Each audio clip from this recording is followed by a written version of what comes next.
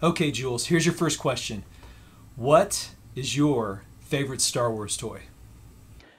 Well, that's a really tricky one because when I was growing up, I didn't have a massive amount of Star Wars toys, but the, the toys I really loved were those very first early Palitoy releases uh, for that first Christmas. So I had the Palitoy Death Star, the Cantina, and the Solid Bonnet Land Speeder.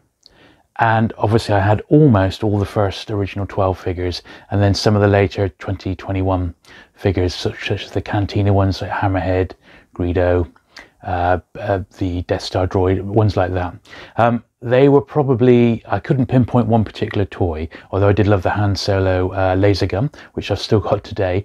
Um, but they would be probably my favourite toys. They were the very earliest ones I had as a kid when I was about eight, when that first wave of toys came out. And they're the ones that most resonate with me today as probably my all time favourite Star Wars toys. In later life, as a collector, I think one of the most impressive toys is probably the Imperial Shuttle. It's just so massive and big, and if I'd have had one of those when I was um, sort of eight or ten years old, I would have just loved it. If you could watch only one Star Wars film for the next 10 years, what would it be and why?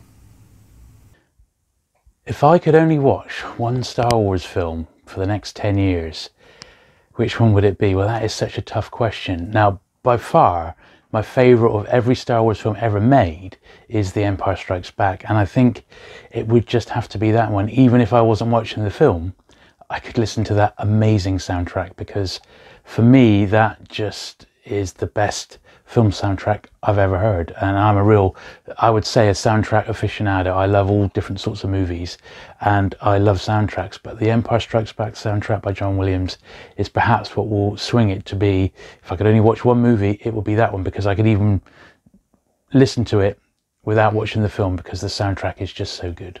So that would be my answer to that one. If you could be any Star Wars character, who would you be and why?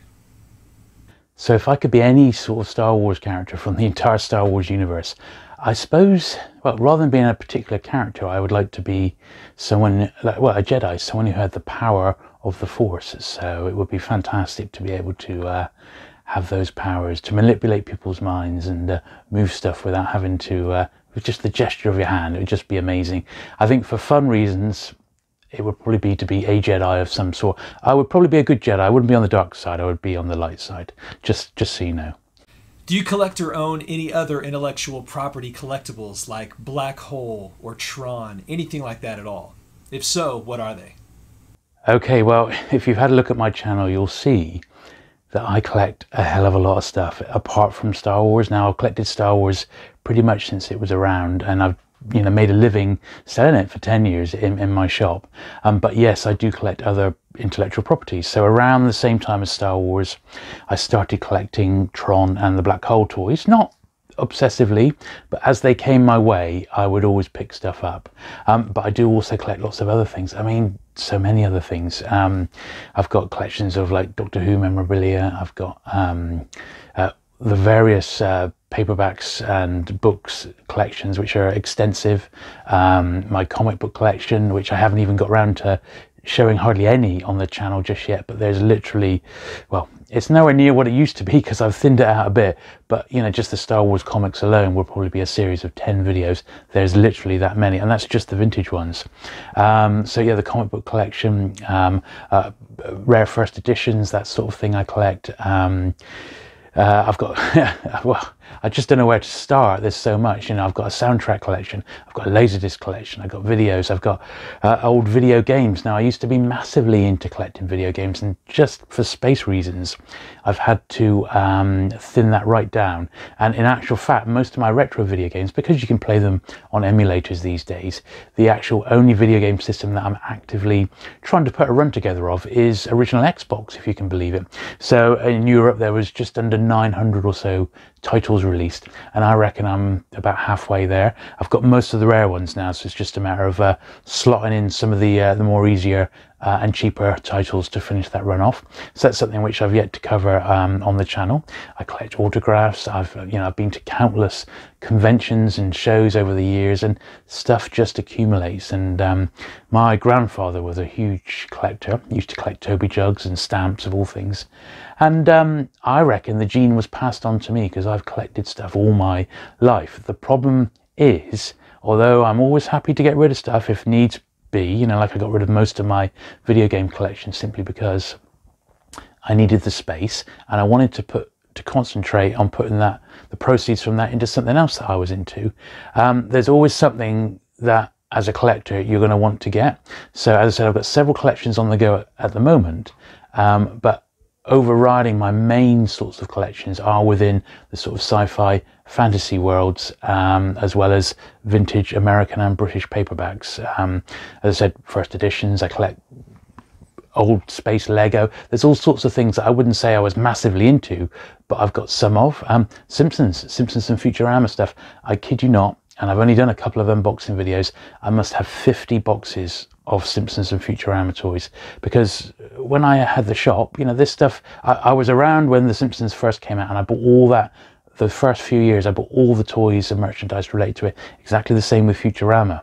And that stuff is like 20, 30 years old now, and it's aged really well. And there's lots of Simpsons and Futurama fans out there. But that alone is just, it's just nuts. And um, it creates a problem as a collector because what do you do? Do you just sell it on or do you just leave it in storage for a rainy day? Who can tell? But maybe we'll get to that. It's another story, but suffice to say, as well as you know, Star Wars and, and the other sci-fi collectibles, there's a whole lot that I collect. And, you know, that is why I thought to start this channel because it's going to be pretty varied, the sort of stuff that you'll see, but it will be all sort of related and um, within a few set genres. So hopefully there's something for everyone. I want to know how do you store all of those magnificent vintage collectibles. What does it look like? How do you store them? Do you store them in storage bins? Do you put them in a closet? Are they in boxes? How do you maintain and keep such an awesome vintage collection? So, how do I maintain and store and or display my vintage collection? Well, it's really really hard because you know, I'm in a normal sized house. I'm a family man. I've got two kids and a wife and a dog. uh, so it's quite difficult to have anything like what I would ideally like out. Um, and I've just got too much to put out at the moment. That's not to say that in the future, you know, once the kids are grown up and left home, I might have a spare room or two where I'll be able to get the collection out. So that is the ultimate aim, but that ain't happening anytime soon. So in the meantime, uh, the bulk of the toys are in long-term storage. They're not even here. Uh, they're in like a, um, a storage unit. And that is why I bring a few boxes back each time and I just film what was in there. As well as filming them, I do take photographs or anything I've not got a picture of. So I've got a really good record of what I've actually got in my collection. And if you've watched any of the videos, um, like when I've unboxed my um, Millennium Falcon, for example, I spotted that it didn't have the original instructions. So little things like that I'm making a note of. Some of the figures that I've got have really aged badly and that's just because um, the bubbles have gone yellow or the memory sometimes cheats you know you've got one and you sort of forget about it but when you get it out again 20 years later you think cool that's not very good condition so i'm going to replace that one so i've been doing quite a bit of that as i've been taking stuff out and filming it most of my book collection is actually out on display. So I've got some beside me here, but that's basically the the, the, the you know the the tip of the iceberg. I've got stuff all over the house book related, and uh, that's because you know I mean books are a bit more accessible. Um, I don't really feel there's a lot of point having them unless I can go and grab a book and uh, expand on the collection as well. You know I'm a, I'm an avid reader and I do enjoy the collection, but Toys wise, I'm afraid to say it ain't all out on display. It was once. I had rooms devoted to it, but you know, time goes on, family stuff happens, and uh, you just can't have it all out on display. I'm not bitter, but that is why I'm getting such a great kick out of getting it all out and looking at some of this stuff for the, literally the first time in, in a, like 20 years and loving it. And I hope that that sort of comes across in the videos that this is the first time I've seen a lot of this stuff in years. Um, sometimes, you know, over 20 years, in fact. So um, eventually it'll all come out and I'll have it all on display. But for the time being, alas, it's all toys wise, it's all in that long-term storage, and it's mainly just my uh, my paperbacks and a few other valuables uh, uh, parts of the collection that I've got actually to hand. What advice would you give someone who is considering taking the leap into Star Wars vintage collecting? So, what advice would I give someone who is uh, just getting into thinking about collecting vintage Star Wars? I would say, first of all, don't be put off by the prices that you might hear. Uh, oh, massive, uh, massive sales on eBay. Yeah, figure Boba Fett figure fetches one hundred thousand dollars or something like that. Believe me, you could start collecting vintage Star Wars for just a, a couple of pounds a figure or, or, a few dollars for a figure. Um, I would suggest if if you want to collect the toys uh, predominantly, that initially perhaps you just um, put together a loose set. Now, if it was me and I was starting from scratch, I would be scouring somewhere like eBay or in the UK somewhere like Echobase, which is a Facebook group, but there's many others, and I will be looking for a bulk job lot, a starter collection, where you can get maybe, say, out of the you know approximately 100 and a bit figures, you can pick up maybe half of them in a job lot, a couple of hundred dollars, a couple of hundred quid, something like that, just enough to get you off and running. Take what you can from that. There'll probably be a few that you'll want to just put in the bin or have as fillers, but use that as the basis for your collection and grow on it. And, you know, maybe just set a little goal. Um, so, you know, I'm going to collect a loose set. I'm going to try and get one or two figures a week. So set your heart on, on trying to just do that and think small because else it can just run away with you. Um, you know, if you were just dipping your toe in the water, that would be my sort of advice is just start small it may be that you're not into the figures. Now, there's not many people like it, but I love all the oddball stuff that comes with Star Wars. So, I mean, I know a lot of people collect like the trading cards, but the more obscure or weird the Star Wars item is like, you know, coloring insets or roller skates or, you know, lightsabers, things like that. Um, it is the more I actually like it. Um, you know, I've got some really, if you looked at any of my unboxing videos, you'll see all sorts of stuff. The old vintage stationery, I absolutely love that. Um, I love badges. It's just a real mixture of stuff. I would just say buy what attracts you and what you like um, and you really really don't need to spend a lot of money on it but say you you know two years down the line or a year down the line you've got your complete vintage loose collection and you want to say take the you know, the step into collecting carded, well, even that is not a fortune. You can pick up figures for, say, the most common figures, some of the Ewoks, Gamorrean guards, something like that, say £50 or $80 for, you know, an okay sort of carded example. All right, the real rare ones is going to set you back in the hundreds, but not all of them will. And you can still get a really tidy carded collection. You know, if you do, you know, one or two a month over a few years, you'll soon get to have a really impressive collection. The other good thing, of course, is a lot of the ships have really not gone massively up in price.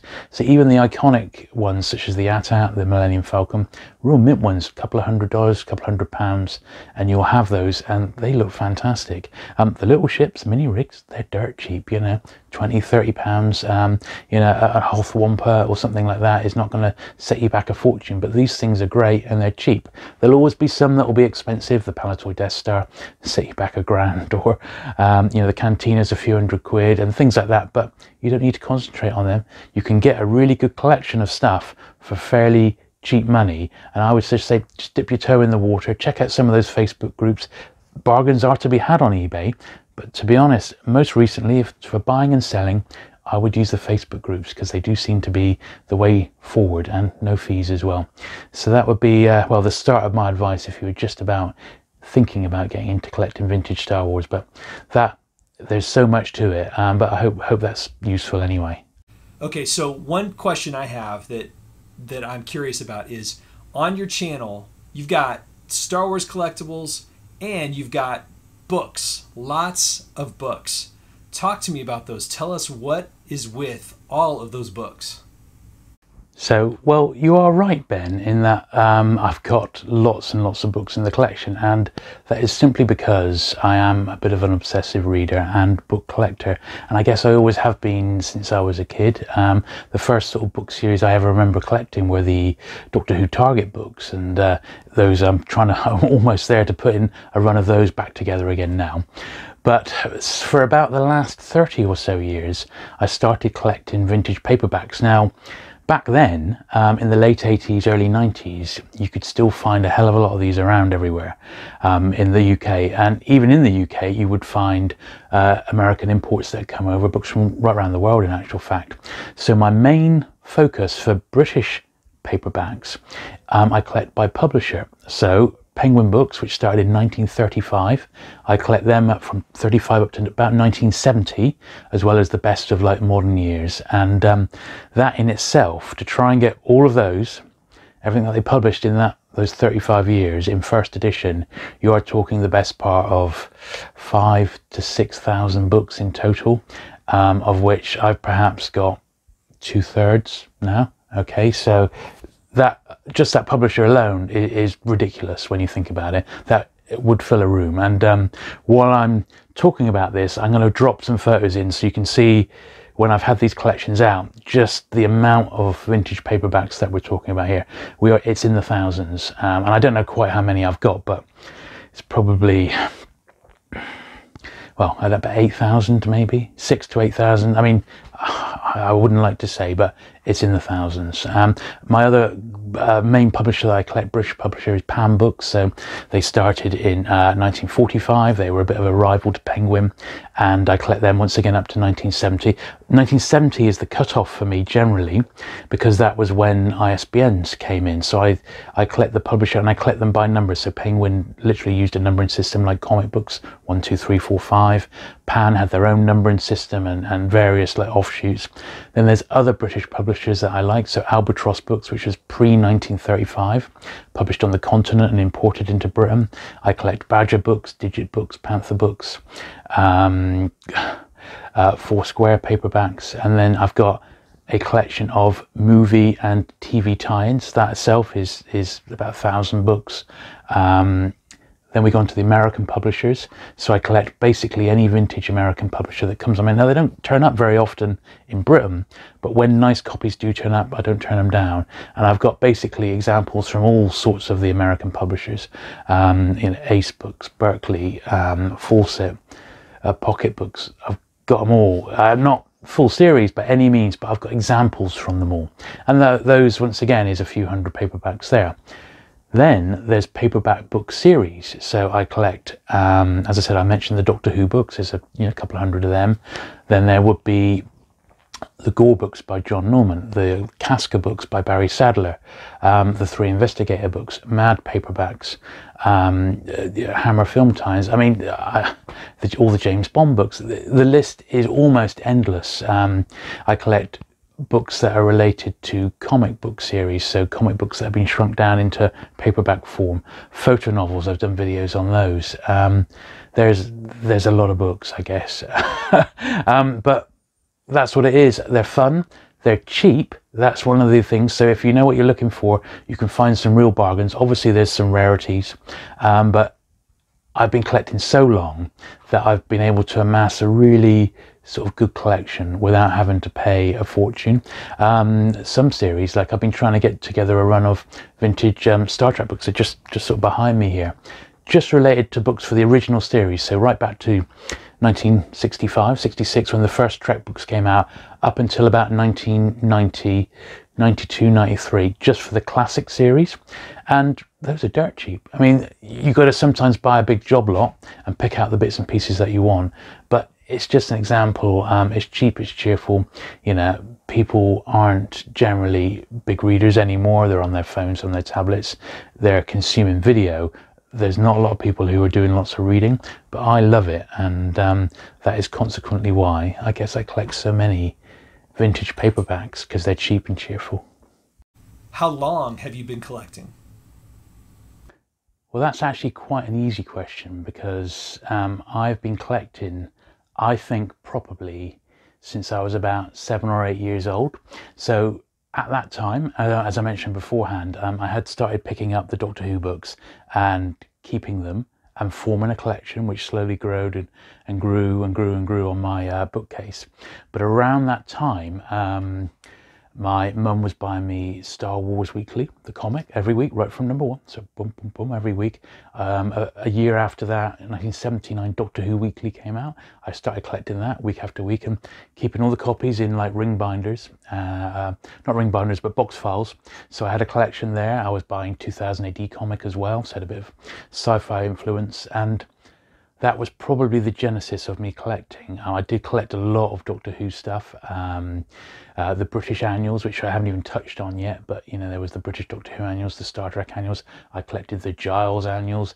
There was there was a lot of those every year, and over the course of those early years, from you know being about eight or nine, seven, eight or nine, up into an early teen, they were the formative years where I did start collecting more and more stuff. And um, once again, as kids do, I swapped it, I traded it.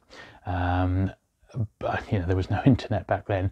But um, when I was out and about, jumble sales, boot sales, school fetes and fairs, I'd be adding stuff to it.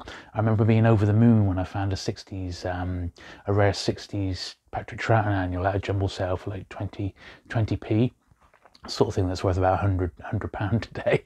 Um, but it was the thrill of the hunt and finding something rare like that. Was finding a little bit of gold, and those I think are the, the, the core, the core things at the bottom of being a collector. It's inside you um, that you will find something super rare.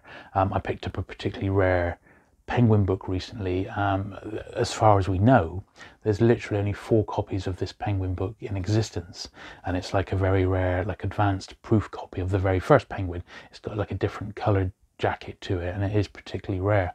Those are the sort of, sorts of things that get my uh, my pulse racing as a collector. But yeah, that was the the seeds of me being a collector from about seven or eight years old, and I've never ever lost it, and I, I still collect to this day.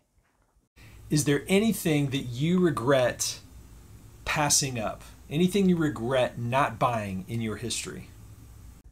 So, is there anything I regret not buying? Well, yeah, loads of stuff. Um, when I had the shop, it was a business, and um, you know, myself and my business partner, we had strict rules. We both collected different sorts of things, but we were ultimately a business, and you couldn't keep everything. And we, believe me, we got some amazing stuff through our hands that it was just too expensive to keep. You know, we were a business. We had to, you know, we were in the business of selling stuff.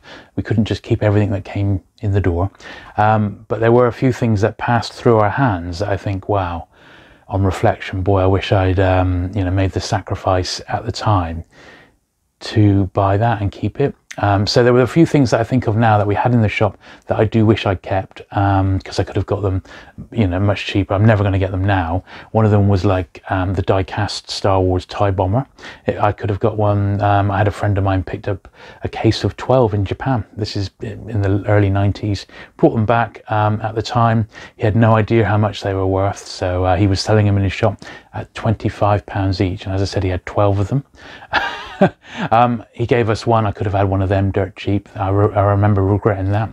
There was um, a Star Wars like slot car racing set. Could have got one of those cheap. Um, a couple of key items that absolutely, you know, might blow your mind a bit.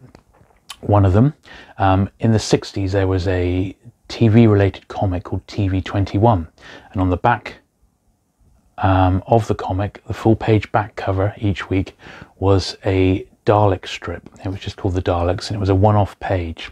And um, uh, a friend of ours, a dealer, um, had managed to find someone who worked on the comic. It wasn't the original artist, but someone who worked on the comic, and he basically picked up a carload of original TV21 artwork. And he came down to the shop with the first, I think it was from issue five of TV21 up to about issue 30, all the back, the original back cover artwork. 400 pounds a page it was. That's all he wanted for it and I just couldn't really afford it at the time. But what a steal! I mean, a single page of that now you could add, you could probably get eight grand for something like that, eight or eight to ten thousand for just one of those. But back then, you know, admittedly, twenty five or twenty six years ago, I could have had a, one of those pages for four hundred quid. That pales in comparison to my all-time Star Wars regret, and I might even do a video on this, but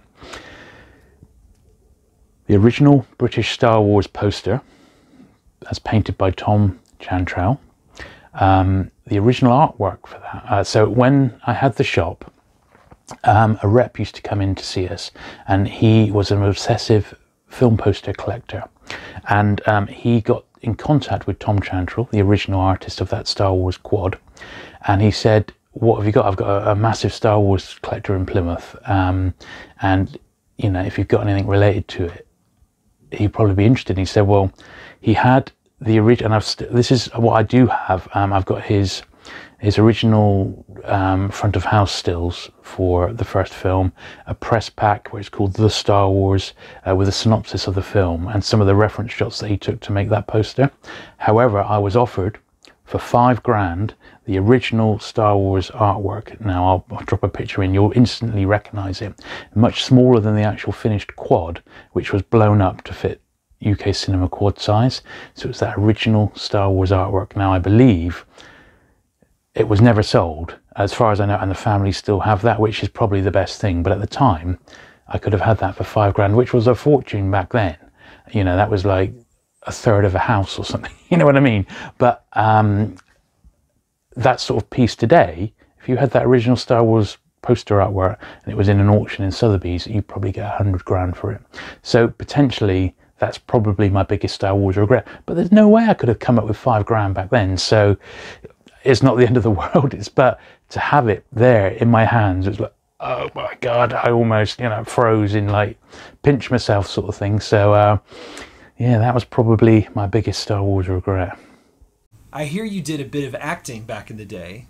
Were you in anything that I possibly could have seen? Brady Bunch, Partridge Family, anything at all? Well, you are absolutely right. So I suppose it all started back in the early 90s. Um, I did a few bits for the local theatre company. One of them was quite a big production called High Heels in the Rubble. Now, that was about Plymouth, which is the city where I live. It was quite heavily blitzed during the war. 1941, 1942 were the, the worst years. Um, and uh, someone had written a play, um, and the theatre wanted all local Plymouthians to play parts in it. So I had a, a, at the time I think I was about 17 or 18, and I had a role as um, as a youngster in the Home Guard. I was too young for national service, um, so I hadn't been called up, but I was in, like in the Home Guard, a bit like the character. Um, uh, Pike in Dad's Army, if you've ever seen that one, sort of the young young boy. Um, so that was my first sort of steps into the world of acting, as it were. Um, I did do a few other bits a few years after that, and it was all theatre based. Um, but then in the shop in Purple Haze, um, we had a book, and I'm just wondering if I've got a copy of it here. Um, in fact, I have. Yeah. So in the shop, um, we had uh, this book come in, which was um, you can be a movie and TV extra. Now, I always remember getting this because um, I thought, well, I would love to do some extra work um, and things like that. And that's something from the BBC there. And um, in fact, this is this is I think my um, Doctor Who pay slip. Um, but yeah, I'd always uh, been fascinated by it and I thought I'd love to do some extra work. And this this book here um, told you how to do it. So this guy here, Rob Martin, uh, don't know if, I mean, this is a 20 year old book now, but he was a, um, he he ran a casting firm. I think it was called the Casting Collective in London, and he had just done the casting for Gladiator and Band of Brothers, which had just been filmed over in Britain.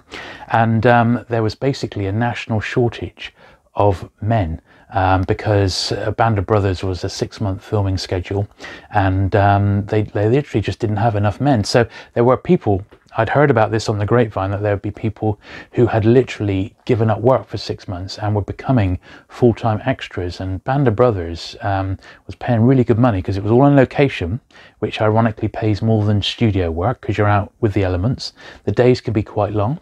If you have a haircut, you get extra money.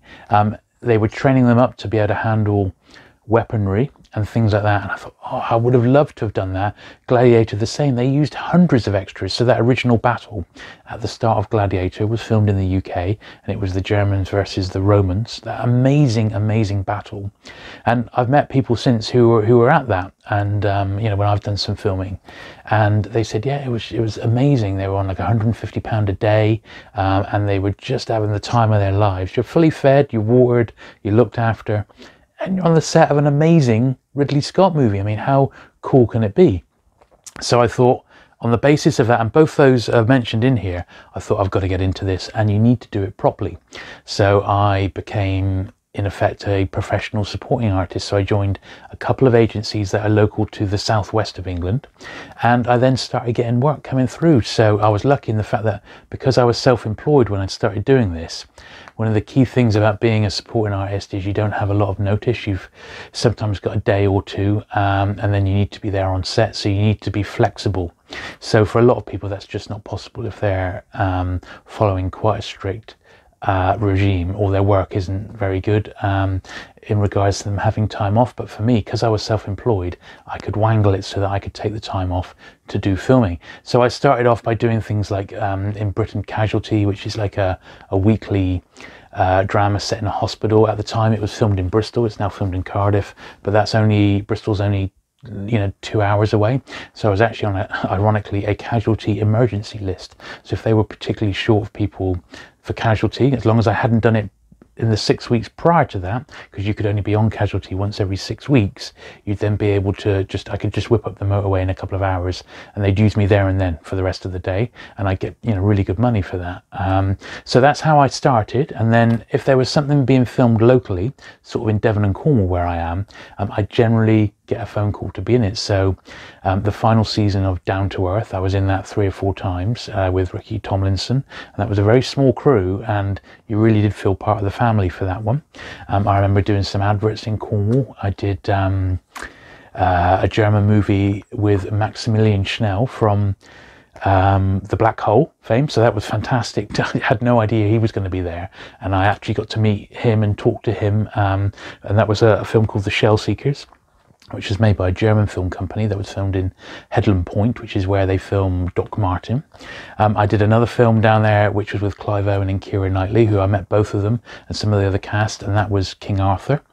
Um, I did another film in Cornwall called um, uh, well, it's Alice in, Alice in Wonderland, and it was the first Tim Burton one. I know he did two. It was the first Tim Burton one, and I was in some scenes in Charlestown, right there in the background with the main cast. Um, uh, I was like man on dock. I didn't have any lines or anything, but I always remember the story where um, uh, Tim Burton is on a boat and he's looking over to the dock. So the main cast are right in front of me. I'm just behind, and he's going through people, and he picks me. I said, "Me?" He said, "Yeah." Just move it because he's doing the classic sort of thing like that.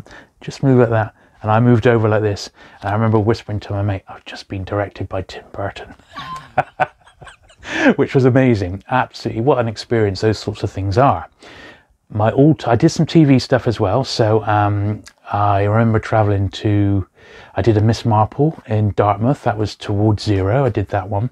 But by far the best thing I ever got around to doing was a Doctor Who. So I think you probably would have seen this one, Ben, or possibly um, it's come across your radar. So I was in a, this is of the modern series, so it was season two. So Christopher Eccleston had just left the role um, and David Tennant had taken over. Um, and it was Tennant's fifth story, I think fifth or sixth story, and it was called Rise of the Cybermen. And um, I couldn't believe I had the phone call. So they said, Jules, do you want to, this is one of my agents, do you want to, um, being Doctor Who, and we got the part of a photographer. Do you know how to work a camera? I said, Yeah, of course I can work a camera. They said, Well, this is on the Friday. They said, Well, we want you there on Monday. It's probably going to be a few days filming. Are you free for that? I said, Absolutely, for Doctor Who. I'll do absolutely anything. It was my absolute dream, and one of the reasons why I wanted to get into it. Now, it was filmed in Cardiff, which is just a couple of hours from where I am, uh, where I live. And um, yeah, I went to the to the Doctor Who set. I was I was pinched. I had no idea what was going to be like. Um, but when I got there, I was I was welcomed. I was really early. Um, I can remember walking in and seeing a pyramid of Cyberman helmets, and they hadn't been officially revealed yet or anything. And I was like, "Oh, this is amazing!" I remember looking at the Portaloo, and there was three Cyberman actors, and they were half Cybermen from the waist down. The top they were just in like t-shirts. And these three bulky, bulky guys in a Portaloo, and the whole Portaloo was shaking because um, they were in there. Just hilarious. And I thought, wow, this is going to be a Cyberman story. And then I, I, looked over and I saw David Tennant and Billie Piper, and there was Nick Briggs who does. He was famous for doing the Dalek voices, but he also did the voices of the Cybermen. And yeah, I was there. I got put into costume. I did the makeup, and I, I did a few days filming on that. And amazingly, um, I knew the director. So Graham Harper, I'd met years ago when I was a Doctor Who fan back in the 80s, and I actually got to speak to him. It was, you know, they were setting up my shot where I, I was really lucky in that I got picked to be in a close-up where um, the Cyberman grabs me and sort of electrocutes me, and I sort of fall back onto some mats and stuff. And while we were setting that up, I just said, Oh, Graham, you're probably not going to remember this, but Graham Harper was one of the directors who worked on the classic Doctor Who series back in the 80s. And um, I knew a bit about his film career anyway, some of the other stuff that he'd done. Um, and I just started talking to him about it. And we ended up talking for half an hour. And it was just amazing talking to him. And he, I don't think he could believe I knew quite so much about you know his career and um, some of the old series. But I said, you know, you don't remember this, but I got you to sign my autograph book back in the 80s, and we had a really good chat then. I can't believe, like 20, 30 years later, I'm here being directed by you in a Doctor Who story. It was just incredible, and that particular one, it was an absolute geek's dream come through, come true, because I was such a big Doctor Who fan, and I had such a really good bit in in um, in the episode, and my actual death, where I get electrocuted, was then used because it was a two-parter in the reprise of the following episode, and then that particular scene, it kept turning up everywhere. Um, it was in um, Jonathan Ross did a thing, and it was like the top um, 100 Christmas toys. One year, uh, the year I did it, uh, 2007, I think it was, was um, Dalek and Cyberman toys, and my death was used in one of the clips there. That was on another channel. That was on like Channel 4. It wasn't even BBC. It was used on the kids' uh, uh, Totally Doctor Who. It was in Doctor Who Confidential. Um, I got invited to conventions, if you can believe it. So I, I spoke at a couple of conventions. I went on a podcast as well where I was doing some stuff absolutely phenomenal. And um, I would recommend it as a little hobby because you don't need any acting ability, although a little bit of confidence obviously helps. But anyone can do it, and um, boy oh boy did I uh, I enjoyed doing the Doctor Who. Um, but yeah, all sorts of things um, come my way, and um, I you know I've got an equity card, but nowadays because I don't have a job where I can just you know book a day off willy-nilly um, I do need a bit of forward planning. Um, I don't tend to put myself forward for stuff uh, anymore simply because um, yeah I haven't got that flexibility. But certainly when I retire or possibly go part-time in work I should be back on it then because they want the good thing is with being like a supporting artist they want people of all shapes sizes ages hair color, the works. So the more unusual you look, probably the better you'll be. Um, so there you go. Hopefully, I reckon you've probably seen me in, in Doctor Who. One.